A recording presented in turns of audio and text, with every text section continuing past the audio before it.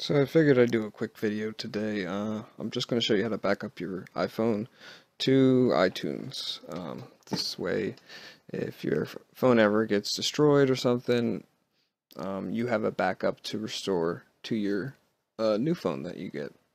So all you need to do is first you want to go ahead and open up iTunes, which I already have done here for you. Like DJ Khaled there. Yeah, whatever.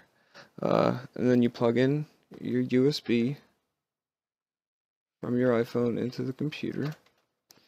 And the other end, obviously, and the iPhone. Um, sometimes it may actually ask for a, as you can hear the noise, uh, that's the phone being recognized by my computer. But sometimes it may ask for a um, verification. All you got to do is unlock your iPhone and it'll say, do you want to trust this computer? And then you would say yes.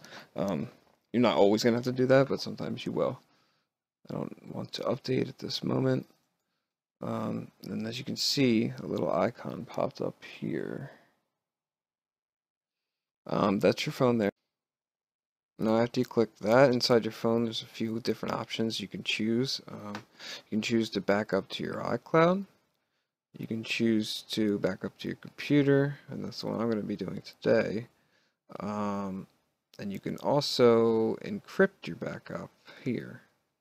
So this will allow to save account passwords, health, and HomeKit data to be backed up. Um, I'm not going to do that. Uh, it would be a good idea for someone if they're worried about someone actually hacking their backup because it is actually possible to hack someone's iPhone backup um, and you could see the information that was on their phone when they backed it up. Messages call logs um, even notes. Uh, so if you're worried about something like that you would want to click the encrypt here and then set a password. But I'm not going to do that today. I'm just going to back it up to my computer.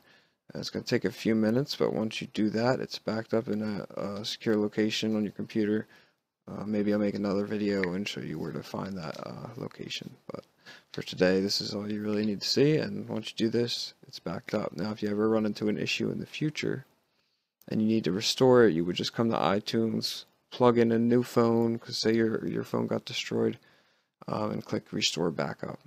Um, and then it'll give you a list of different ones. It'll probably classify by date and whatnot, but I'm not going to open that right now. So that's how you do it. Make sure you do this, I'd say maybe monthly at least. Uh, that way you don't lose any information if something happens.